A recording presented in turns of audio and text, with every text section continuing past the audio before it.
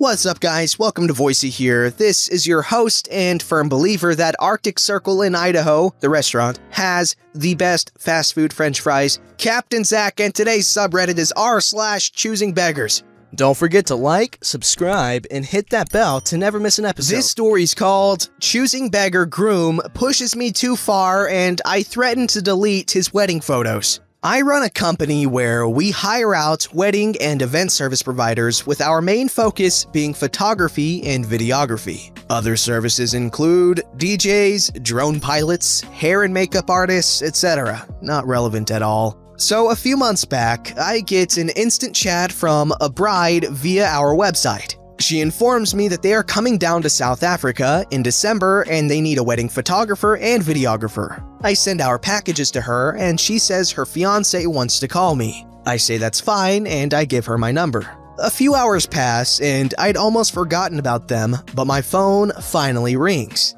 The fiance, speaking in a very heavy German accent, starts sweet talking me, mentioning how people rave about our fantastic work and service. I'm calling BS on every word he says, but I'm also infamous for my inability to say no. He ends up offering us about a third of what the packages charge, offering to make the hours less, removing any physical copies, etc. He also adds that he'll give us an R500 tip on the night. I ask him why I can't just add that as part of the quote, to which he replies, Gentlemen's agreements. Anyway, somehow I accept this insane offer. If I was a drinker, I'd be saying that I really should stop drinking at work. I had emphasized that they will get no overtime. If my people stay one minute longer than agreed upon, I'm gonna charge. But he said this was fine. So, what they required for us was two hours for the Friday and three hours for the Saturday. Nothing too hectic,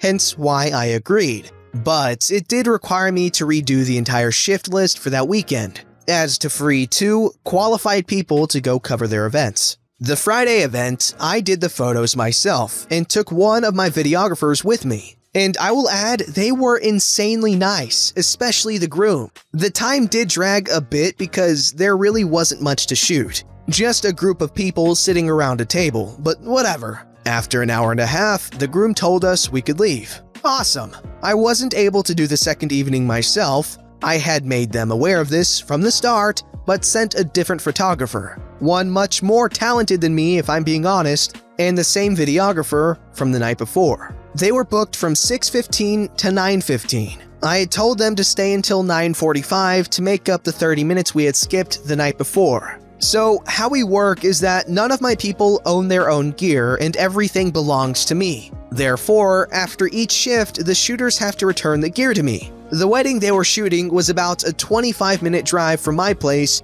and the one I was shooting was an hour drive. I was also booked until 10 o'clock. I got home after 11 and saw that they hadn't returned yet. All my other teams started arriving shortly after me and returned their gear, but no sign of those two. This had me worried as they were working the closest and were supposed to finish before anyone else. I tried calling, but no answer from either of them. Just before 12, I got in my car and went out to look for them. I had driven for about 10 minutes when I saw them passing me from the opposite direction. I turned my car around and drove home.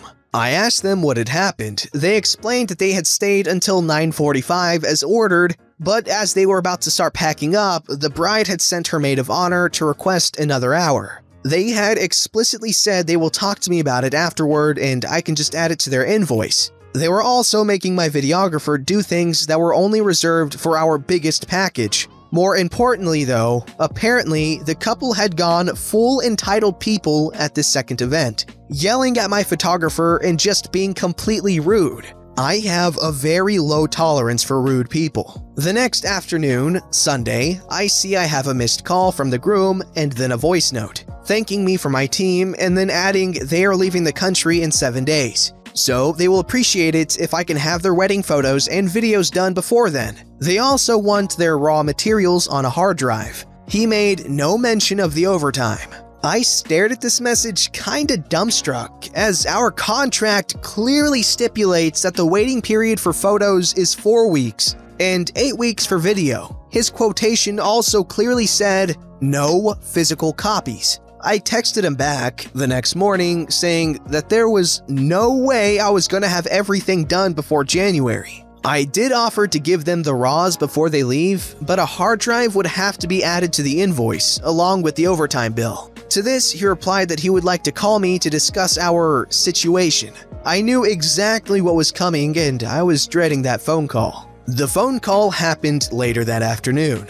This story has already gone on way too long, so I'm gonna skip most of it and just cut to the parts that made my blood boil. So you cannot have it done before we leave? Uh, unfortunately not. Oh, that disappoints me, because all our guests are asking how much longer the photos are gonna take, but we understand. Great, I'm glad you understand. I can give the raws to you if you wish, but you'll have to pay for an external. I have some in stock. I don't want to pay for a hard drive. You can just retransfer me all the raws. No, I can't. Oh, why? Because it's over a hundred gigs of materials, and this is South Africa. With our internet speed, it'll take about two years. Oh, do you think we need the raw materials? No, I don't. Okay. Long, awkward pause. I don't understand why there's an overtime bill. Because you asked my people to stay an extra hour? No, they only stayed for 10 minutes longer and you owed us 30 minutes from the night before. I took the 30 minutes into account and they still stayed an hour after that.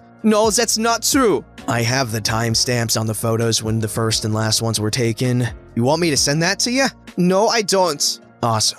But we hired you and got someone else. You hired the company, not me. And on Friday, you even said that I must enjoy my wedding on Saturday. You always knew you weren't getting me. But we were not happy with who you sent. Really? Why's that? I just don't think we should be charged extra for them. Unfortunately, that's what we agreed upon.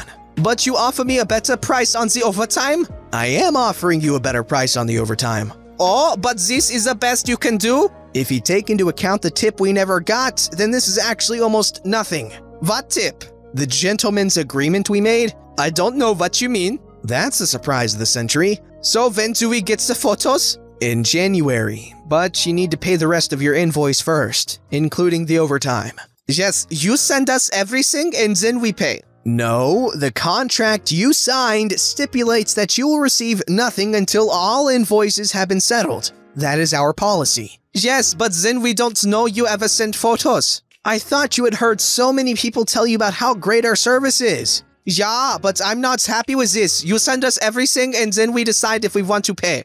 yeah, that's not happening. But you cannot ask me to trust you like this. You're right. We cannot trust each other. I think the simplest solution is that I refund your deposit, delete your wedding, and we can be done with each other because I've heard enough. I feel like I have offended you. You have not, but you are wasting my time, and I'm done doing favors for you. The only difference between you and our other clients is that they paid the full price. Okay, great. I'll wait for the money to show up in my account, then I'll start the editing process. And you cannot offer me a better price on the overtime? Have a good Christmas. And I hung up the phone. The next morning, the bride sent me a text that they just paid the outstanding balance and now want their photos. Because January is a long time to wait. January was 8 days away. It has now been 3 days and the money has yet to show up in my account. Alright, and there's an update for us. Not really an update, okay, but just something I forgot to mention in the original post. While I was busy at my wedding, about an hour before my photographer was meant to be at theirs, the bride texted me a list of the family photos they needed. I forwarded it to my photographer just as she was getting into her car to leave. At the wedding, the bride had started yelling at her for not having a printout of the list. Oh yeah, my cousin's like a really, really great uh, wedding photographer, and he's had so many people try to shaft him like that, but you know, he's not stupid.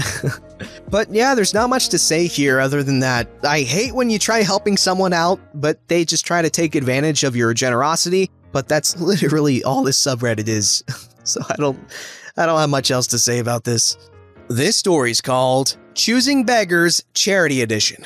As director of marketing at my company, I have a fairly large charitable giving budget that I work with each year. Much of this budget ends up becoming sponsorships for different events that charitable organizations put on, which gives them the money they're looking for and our company a bit of exposure with a nice tax write off. It's usually a win win.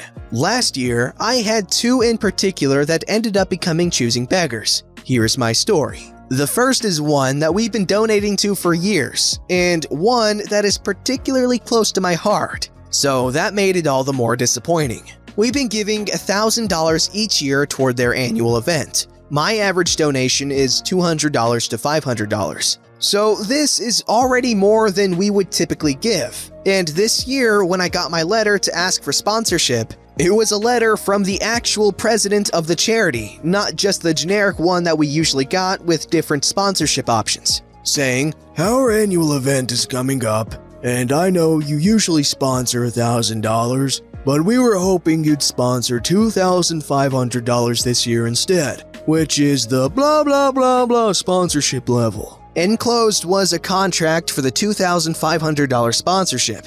Not a single thank you for our previous contributions or support. No explanation of what the extra money could be used for or why they were looking for so much more. No other sponsorship options enclosed should we not want to or be able to sponsor at this high of a level. Just an assuming of the close with the sponsorship they wanted us to choose, which is over double what we have given in the past. I was so taken aback by the presumptuousness and rudeness of it all, I didn't even bother responding. I did end up getting a follow up email from them to make sure I'd received a letter since they hadn't heard back. To which I answered telling them that I had, but that the amount they requested was much higher than we could accommodate in our budget, so that we wouldn't be able to do it this year. Once they realized they weren't going to get what they wanted, they finally decided to tell me about the lower sponsorship options. But I told them that it was too late, that I'd already spent my budget on other charitable events and maybe next year even though the truth was I was so annoyed by how rude they'd already been that I'd simply written them off this time. Maybe they'll be smarter about their approach in 2020. The other was for a charitable golf tournament, and after I was told about the event and the charity they were raising money for, I told them that we'd sponsor $500 to please send the sponsorship information over and that I'd fill it out and send back as soon as possible. After I'd submitted all the sponsorship info, I was taken to the payment section, which was just a note to send a check made payable to their company to their company address, not the actual charity, or a 501c3 which had been set up for the event, which is pretty common for charitable events in the US to ensure the money is going to where it is meant to go and also making it tax deductible for the person or company donating. So I told them that I couldn't do it if the money wasn't made payable to an actual charitable organization. The person I spoke to didn't seem to understand the difference or why it even mattered, which was kind of alarming since he was in charge of heading up the event. So he said he would have the owner of the company call to explain it to me. I told him that I'd been working with and heading up charitable events in my free time for almost 20 years now. But sure, have him give me a call and tell me how this one works. When the owner called, I told him that I was happy to honor the $500 sponsorship that I had already committed to, but that it needed to be made payable to an actual charity per our company policy, and that I couldn't just give his for profit company a $500 check that would not provide me with a tax receipt. He told me that it needed to be set up that way because they used that money for the cost of the golfing itself, food for the event, and sponsorship signs to place at holes, $13 per sign which they'd already printed one for us because we said that we would sponsor. Once all of that was paid for, they would cut a check for the remainder of the money to send to the charity. I asked him if I was hearing him right, that he was basically asking companies to fund a free day of golf and food for his employees, then would send the remainder of the money to the charity from their own work account, which would mean they would be the ones who receive the tax write off for the donation, not the actual companies or people that had sponsored, he didn't really know how to respond to this, so he asked me if, didn't I have an advertising budget and couldn't I just count this under that since it would be giving us good exposure? I told him that I did, but that I would never waste my advertising budget on something like this anyway. Our return on investment for having a sign at these types of events is basically nothing. In that, I was sure we would never end up getting any actual business out of placing an 18 inch sign with our logo at his annual company golf outing. And that wasn't the reason I'd agreed to be a sponsor anyway, so no, I wouldn't be giving him the $500 out of my advertising budget either. He became quite flustered at this point, told me this call was a waste of his time and that he could have made more money in the last five minutes than my sponsorship was worth anyway. if he had been working rather than being on the phone with me, and promptly hung up. I did keep my word and made a direct donation of $500 to the charity that they were raising money for. Even referenced their company golf charity tournament in the memo of the donation. And then sent a copy of the receipt to the company hosting the tournament to show that I'd honored my commitment, along with $13 to reimburse them for the cost of the sponsorship sign that they had apparently printed with our logo. I doubt I'll be hearing from them next year, but even if I did, there is no coming back from that one. Not a chance. I very much admire people that have this kind of knowledge when it comes to business and finances and stuff like that. Because I know for a fact that if I were in this guy's place, I would have been like, okay, here's the money for the golf thing without even realizing that they were trying to, you know, basically cheat people out of their well earned tax write offs. Don't forget to like, subscribe, and hit that bell to never miss an episode.